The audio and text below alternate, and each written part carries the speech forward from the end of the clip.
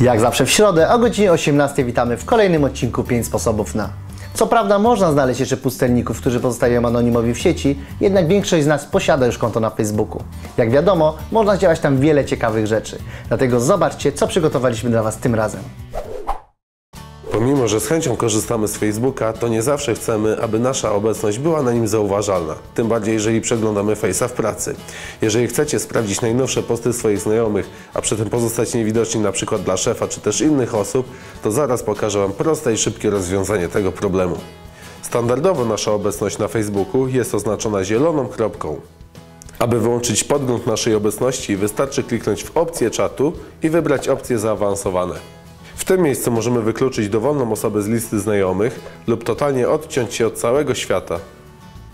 Tym sposobem pozostaniemy incognito w internetowym świecie, co być może sprawi, że na nasze stanowisko nie będzie poszukiwany nowy pracownik. Dobra fota wrzucona na Face'a to gwarant dużej ilości lajków. Oczywiście nie może to być byle jaka fota, dlatego pokażę Wam jak pobawić się z perspektywą, aby zrobić genialne zdjęcie. Sami zobaczcie. Pierwsze zadanie to znalezienie odpowiedniej scenografii do wykonania foty. Następnym elementem jest dobranie odpowiednich rekwizytów czy też osób. Na koniec potrzebujemy kogoś, kto wykona nam zdjęcie. Po odbębnieniu wszystkich punktów wystarczy gotową fotę wrzucić na naszą tablicę.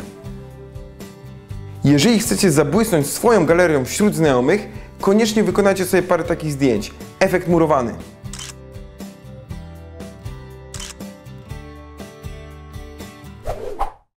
Facebook to nie tylko miejsce, gdzie można zobaczyć, co słychać u naszych znajomych. Coraz więcej innowacyjnych banków dostosowuje swoje usługi tak, aby podążać za duchem czasu.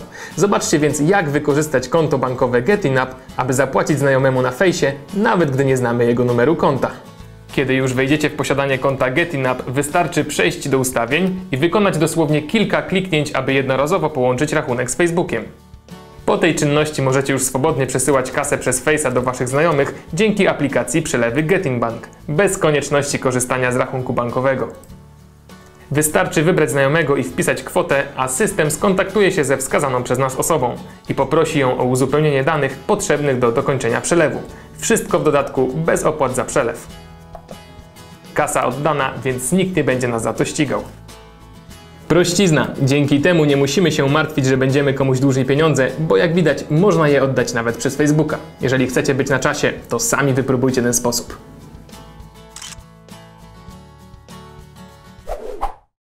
W obecnych czasach facebookowa tablica stanowi naszą wizytówkę, dlatego warto zadbać, aby wyglądała jak najlepiej. Zaraz pokażę Wam, jak łatwo zrobić kreatywny banner, dzięki któremu odpisujemy nasz profil. Na początku trzeba zrobić fotkę. Możecie sami wymyślić jakąś kreatywną pozę lub skorzystać z wielu inspiracji znajdujących się w necie. Kiedy już będziecie w jej posiadaniu, proponuję Wam wejść na jeden z dostępnych kreatorów banerów online. Po załadowaniu fotki wystarczy ją odpowiednio skadrować i już można pobierać dopasowane zdjęcia. W ten sposób bardzo łatwo stworzycie swoją własną kompozycję. Jak widzieliście, wystarczy dosłownie kilka chwil, aby odmienić swój profil i przykuć uwagę znajomych. Dlatego bierzcie się do roboty.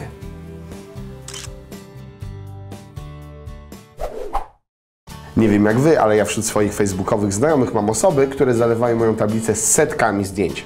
Na pewno miałyby grube ciśnienie, gdyby ich foty zniknęły, ale jest na to prosta rada. Oglądajcie. Operacja jest bardzo prosta. Wystarczy wejść w ustawienia swojego konta, po czym kliknąć w napis Pobierz kopię swoich danych z Facebooka.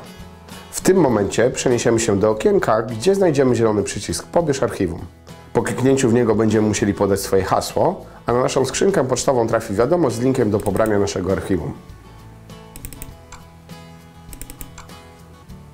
Pamiętajcie, że oprócz fotek w folderze znajdą się zapiski z Waszego czatu oraz wszystkie prywatne wiadomości, które udostępniliście Facebookowi. Dlatego dbajcie o niego bardziej niż jedenastka o swój pamiętnik.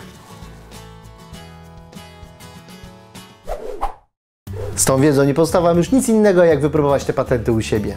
Nie zapomnijcie o oglądaniu After Scen, subowaniu, lajkowaniu oraz śledzeniu nas na Instagramie. Do zobaczenia już w przyszłym tygodniu.